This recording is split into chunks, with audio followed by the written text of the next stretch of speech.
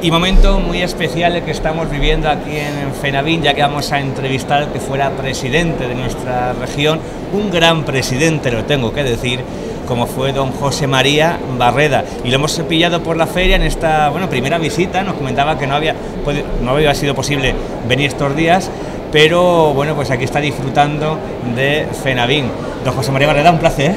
Muchas gracias por estar Nada, gracias a vosotros, estoy encantado disfrutando de una nueva edición y una edición especial. Sí, sí, la verdad, eh, he venido a todas desde que se inauguró Fenavín en la primera edición y la verdad es que año tras año se ha ido superando. ¿no?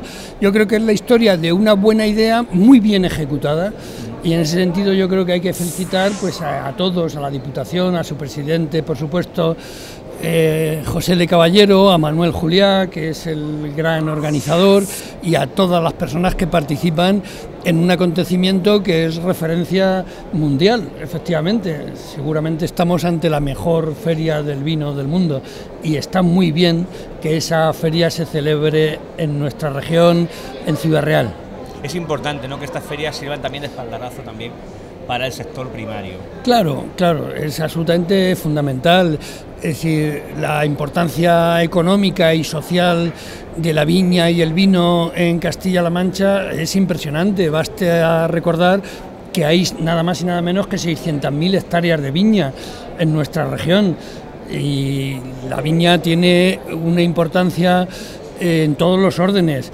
Eh, por ejemplo, estudiando nuestra geografía, se ve que en los municipios donde hay viñedos hay población, sin embargo, en otros municipios donde hay monte bajo y otro tipo de circunstancias, hay un problema mayor de despoblación, ¿no? Ahora que tan de actualidad está la problemática de la España vaciada. O sea que en gran medida eh, la viña, el vino, las cooperativas fijan población en los pueblos.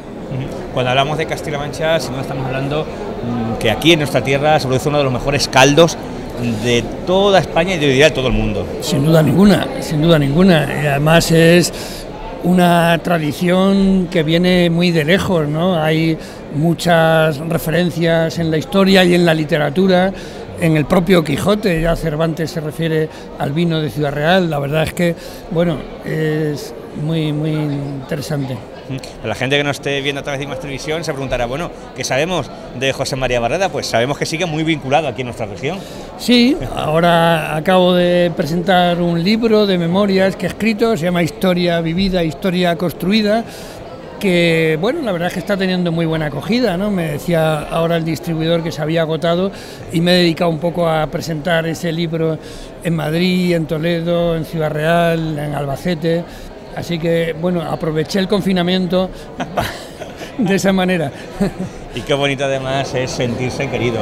Yo le podía acompañar para traerlo aquí a este stand de más televisión y cómo toda la gente le paraba con esas muestras de cariño. Eso es lo más importante. Sin duda ninguna, sin duda ninguna. Para mí eso me reconforta mucho.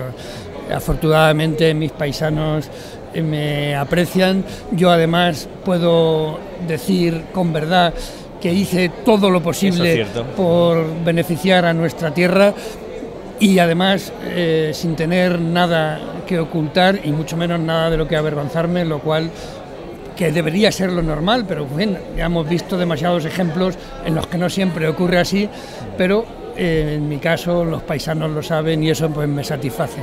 Cuando fue presidente de nuestra región, también vio crecer esta feria de Fenavín. Claro que sí, le dimos un buen empujón, por supuesto, un espaldarazo muy importante desde la Junta. El motor de la feria es la Diputación de Ciudad Real, siempre lo ha sido, pero eh, desde luego en mi época de presidente la Junta se involucró mucho y ahora sigue en esas mismas líneas. Pues que siga esta feria creciendo, porque si le va bien a Ciudad, le va bien también a nuestra región y por supuesto a Ciudad Real Capital. Sin duda ninguna, es una inyección además de economía para Ciudad Real y los alrededores, todos los hosteleros lo notan, eh, la ciudad está a tope, de manera que muy bien en todos los sentidos. ¿A usted le gusta el vino? Me gusta el vino. ¿Cuáles son sus preferencias? ¿Qué vino suele, suele tomar? Bueno, eh, yo estoy obligado eh, a defender los vinos de Castilla-La Mancha, los vinos de nuestra tierra. Además le diré que como a veces tenemos problemas de comercialización, cuando voy a restaurantes en Madrid siempre veo la carta de vinos y cuando no hay vinos de nuestra tierra le monto un pollo. Muy bien dicho. siempre se excusan, ah, discúlpenos, no sé qué. Eso, eso la verdad que es importante, porque de verdad aquí en nuestra región tenemos de lo bueno lo mejor. Sin duda. tenemos nosotros mismos que, eh, bueno, pues eh, si ya que lo tenemos a producto, pues lógicamente consumirlo. Claro, claro. Y reclamarlo. Y reclamarlo, eso, Claro, a veces los que vienen conmigo dicen, hombre, ya te pones un poco pesado. Y digo, no, es que es la manera de que sepan que tenemos muy buen vino y que está aquí cerca, además, que lo pidan, que lo reclamen. Mm. Ahora seguir recorriendo la feria, imagino. A dar una vuelta con los amigos y con mi mujer, sí. Bueno, pues muchísimas gracias. Nada. Ha sido todo un placer. Y nada, que la alegría la verdad que ha sido nuestra. Nada. Que hayas aceptado también esta entrevista. Nada, hombre, cómo no. Y que estás siempre también siempre, tan cercano con nuestra región. Siempre, y, y, más, y Onda Cero siempre han sido muy cariñosos. De manera que cómo no corresponde. Encantado. Muchísimas gracias, presidente. De nada.